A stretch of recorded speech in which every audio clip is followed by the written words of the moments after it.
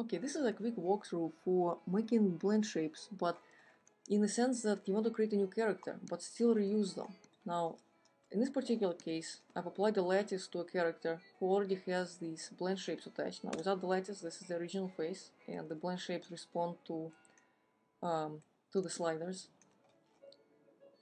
like they should. So I'm going to get the lattice back, and basically there is a way to make it work and save this character variation and still reuse all that work without having to do them all over again.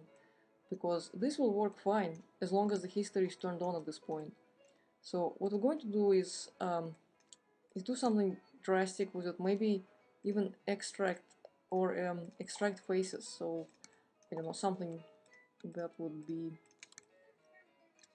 um, something that would be a fairly drastic change in geometry.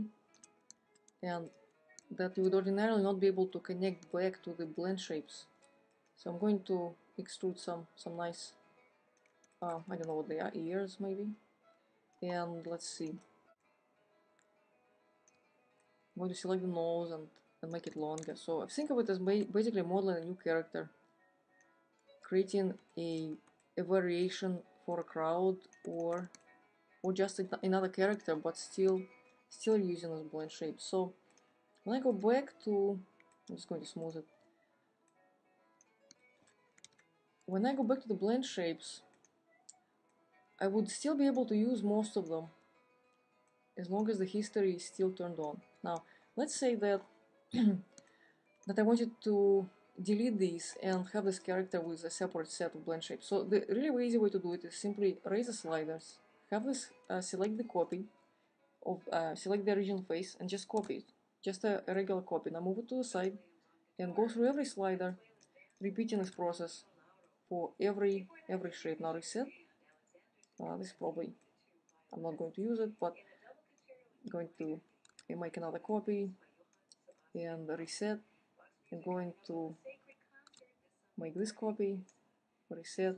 So basically these are going to be your new blend shapes. So a really a really good way to save time uh, in, in case you need to change add topology um, reroute it maybe. Sometimes it's, it's kind of necessary when you start model a smile or an eye blink. Sometimes it, it's necessary to add topology. So basically now I'm going to delete all history and delete these faces because I don't need them anymore and select this connect it to the original face go to create blend shapes and just test it and it will work because this is identical mesh. So um, it will work fine because you really haven't you're not trying to connect them to a conflicting mesh which which is a really nice time-saving tool. Now I haven't reached a breaking point with this technique yet and it seems to, to work really well.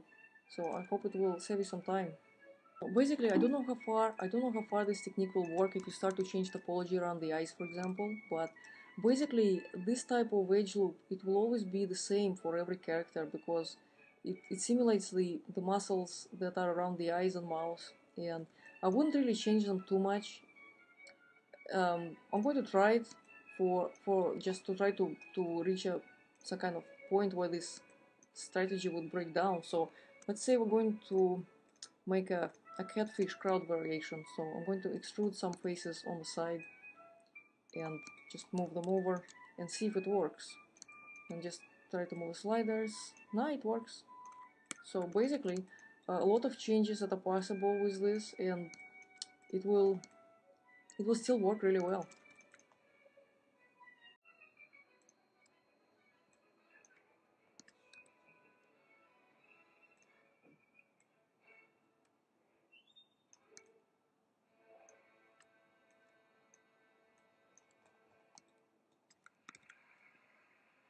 George with.